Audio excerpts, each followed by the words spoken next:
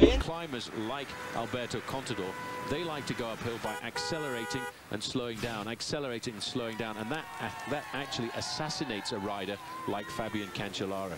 Dizzy old Chase isn't our camera keeping up with him here on these narrow roads. He carves his way through. Andy Schleck, you mentioned there, Paul. He said this morning, by the way, two and a half thousand feet uh, beforehand. There's the doctor's car. Oh, goodness me.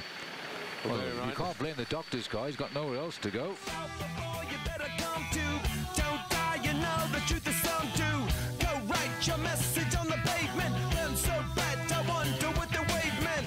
White heat is screaming in the jungle. Come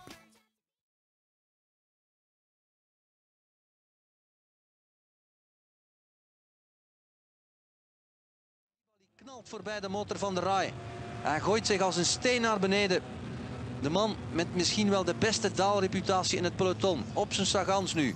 Poep nu- op de buis. Nu komen er nog een paar van die jaarspelbochten en hier kunnen we inderdaad wel het verschil maken. Er zijn er een paar bij waar je recht door kan. Het is Gevaar. ja, het is Pinot, maar als Pinot het moet doen, dan gaat het in de afdaling nooit, nooit lukken natuurlijk. Wat was dat? Zag je dat, José? In dat vorige beeld zit daar nog te prutsen op een of andere manier. Nibali met doodsverachting in de afdaling, zo lijkt het wel.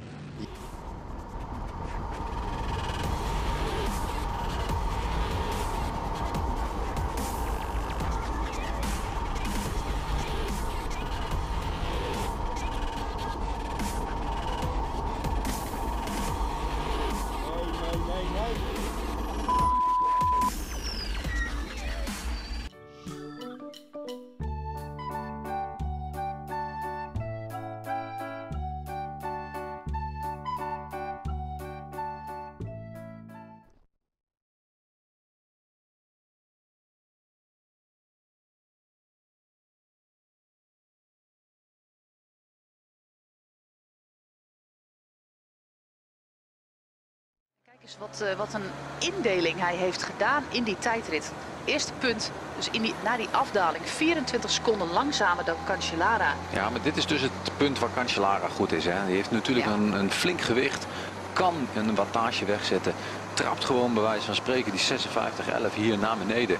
Eh, heeft zijn gewicht dus mee. En zuist hier naar beneden. Heeft natuurlijk een techniek van hier tot eh, Tokio. Ja, dit is ook wel even wat knap wat uh, Izagirre hier doet. Doe dat niet thuis, als u dit eh, niet dagelijks doet. Kijk, kijk, kijk. 110 per uur. Goedemiddag. Heeft Izagirre dat ding mee? Ja, heeft dat. eh,